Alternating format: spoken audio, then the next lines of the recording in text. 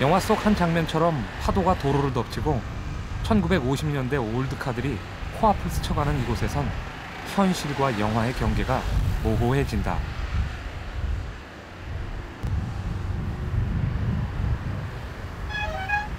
연인들에겐 사랑을 속삭이는 최고의 무대이며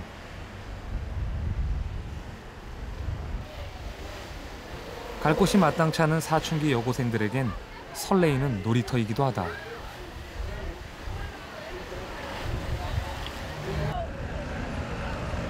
한편에선 아이들이 다이빙을 즐긴다.